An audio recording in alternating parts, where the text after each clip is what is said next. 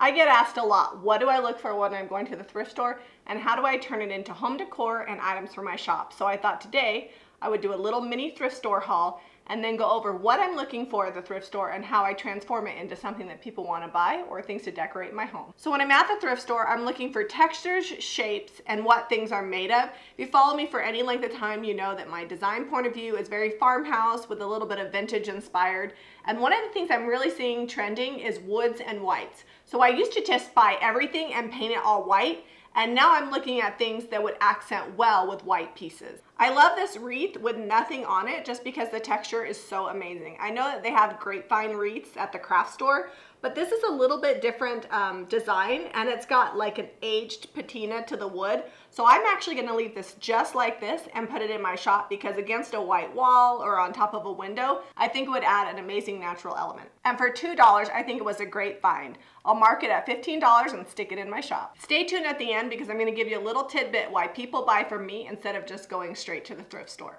Next item is this cool cutting board. It looks like it's handmade, but it also has feet. And I don't know if you've seen the farmhouse bloggers, they always use these and then they put like a vase with flowers on it. It's in pretty rough shape, but if I sand it down and use our real stain on it with some butcher block oil, it'll be good as new. It will also still be food safe if they want to use it as a cutting board.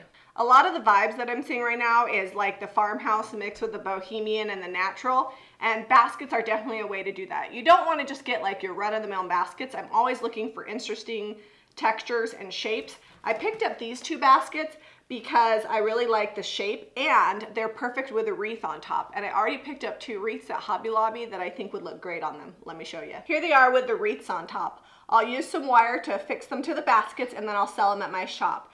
This basket here was $1.50 and this basket was a dollar. I got the wreaths half off at Hobby Lobby for $10 each.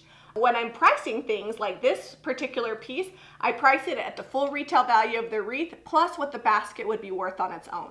So each of these baskets would sell for about $15 and the wreaths are retail valued at $20. So they'll go for $35 all put together at my shop. Last but not least, I've got this really cool metal like trough looking thing. It's not super old um, and it's kind of an unattractive brass. So if you're doing like a mid-century boho vibe, you could probably get away with leaving the brass, which would be great, but that's not in my decorating wheelhouse. So I'm gonna actually take this and I'm gonna give it a chippy white paint job, maybe some dark oil wax, and then I'm gonna go to Hobby Lobby and buy one of their long garlands. It's an inexpensive way to fill a big piece like this without having to buy individual stems. I spent $6 on this and probably what I'm done it'll be somewhere with the flowers in it in the $49 range just because it's like an entire centerpiece in one piece and it's gonna take me a little bit of work to get it painted the way that I want it. All right, so we painted this white and then I used my orbital sander and distressed it, but it's still a little too new looking and that gold coming through is shiny. So my fix for that is I'm using Sweet Pickins oil wax. You can tell I've used it a lot. This is just a little sample container. A little bit goes a long way. The nice thing about oil wax is it's softer looking than a glaze, but it's a sealer and a glaze all in one. Sorry, that was loud. And I'm just wiping it on and then I'll wait half an hour and then buff it off and it gives it a good aged patina.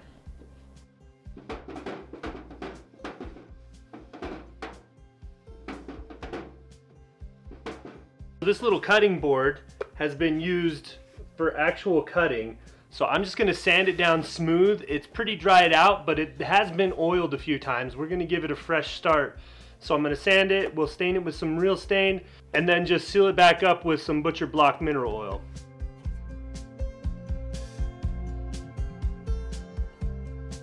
I've got this sanded down. I've got real stain number two. And I'm just gonna go over it just lightly. One coat will be enough. This is all natural, food safe, doesn't have any VOCs, so I don't have to wear a mask or even gloves to use it. It'll get my hands a little dirty, but with uh, soap and water, it washes right off.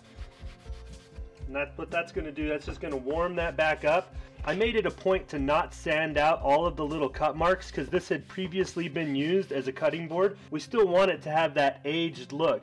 So what this will do is that'll bring all those out because where that stain settles down in the cuts, it's gonna be darker and you'll see them really well. All right, so you're gonna wanna stay tuned because Zeb is gonna get close-ups of all of these items transformed and ready for my retail space. I told you I'd tell you, why do people buy from me instead of just going straight to the thrift store? Sometimes people can't envision what things will be. So if you're buying for a shop, think of the style that you're trying to curate. When people go to my space at Molly's Forget Me Not and they see the Jami Ray vintage area, they immediately know that they're gonna find well curated items that fit in my design point of view. That's why people come to my shop. If you're looking to resell, think about the things that you love to put in your home and make sure that your shop reflects your personal style. And if you're just decorating for your home, these are some great tips and tricks to get good deals on things without having to pay full retail price. Stay tuned for the pictures. Be sure that you hit that notifications button so you never miss a DIY. Give us a thumbs up, comment below with your favorite thrift store find you've ever found, and subscribe to Jami Ray Vintage for more DIY. Hey, if you like this video and you have a friend that you think might enjoy my DIY and point of view, be sure to share this video. It's a great way to help us grow our channel so we can create more good content for you.